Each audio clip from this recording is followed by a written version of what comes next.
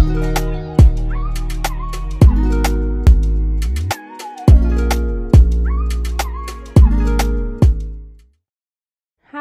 my name is Tsemaye Jemide, and you're now watching Alte Daily. Firstly, I do photography. Then I have two other Instagram accounts and two other businesses and like pages. Um, I do. I'm a skincare and self care enthusiast, which is my bestskin.tj account, and then I am the founder of Up and Becoming, which basically gives, which basically is a platform that gives opportunities and recognition to upcoming talents. So that's Up and Becoming. Right now, it's like a passion and obviously it's a source of income as well.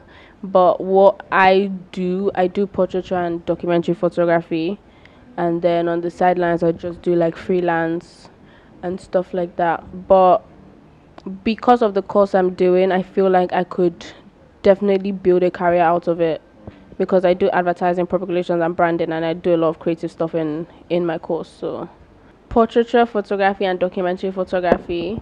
But like, there's something that I do with my photography. I shoot with dig- digital, but I make it look analog, like in the whole editing process. So I don't really shoot like with film.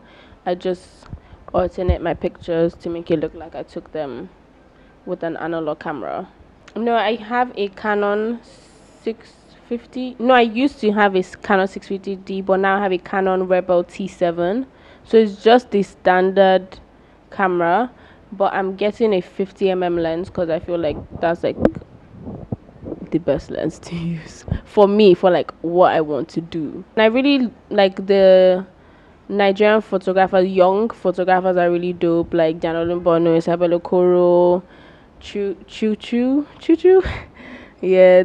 Um the skincare page I started it initially just to like advocate skincare and like just share my experiences and stuff but right now it's like branched into like self-care which is basically taking care of yourself your body your mind your spiritual states everything in a whole just taking care of your whole holistic being. And that's what like i advocate on my page skincare and self-care the importance of that yeah so basically i started it like in April, and then I had my first event last summer. So it's basically just giving youths that don't really have a voice like a platform to just showcase whatever they want. Like your if it's your new release, we just give you recognition for that. New video, we give you like a platform just to express yourself, because I feel like there's a l- huge space in the in there's a huge I don't how do I put this? How do I put this? the industry can fit everyone but i feel like some people a lot of people just stay in their bubble and then they don't want to it's okay to explore out of your bubble and still remain in your bubble but a lot of people just like to stick to like what they know okay this is the best dj but like there are other people that exist and those people I des- I think they deserve to be heard. The first one was Legacy Grow. We got about 100 people for my first event, which was really, really good. And then for my first event, what I did, because the event was ticketed, so I did, I gave 50% out of money made to from the event to give back to the people. I don't know, I'm just, I'm really into branding. So, and also organizing events. So, like when my friend is having an event, like I like being in touch with like things like that, just helping out to do things, arrange things, put things together. I would just like to advise everybody stop with the bad vibes.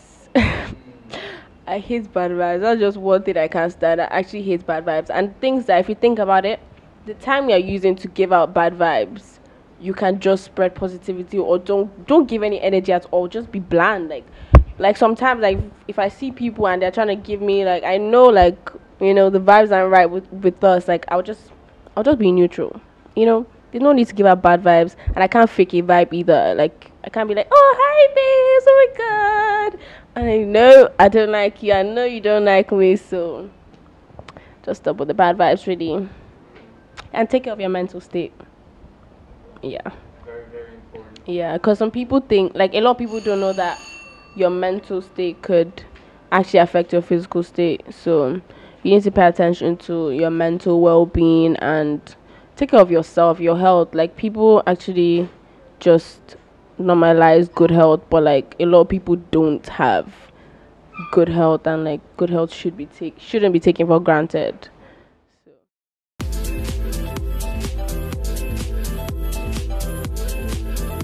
The Alternative Network.